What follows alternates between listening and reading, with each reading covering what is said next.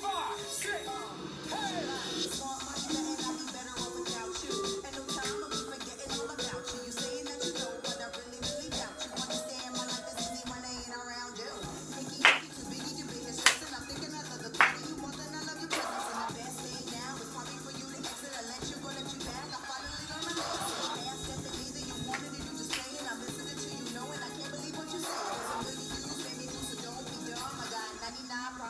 won't be one like one.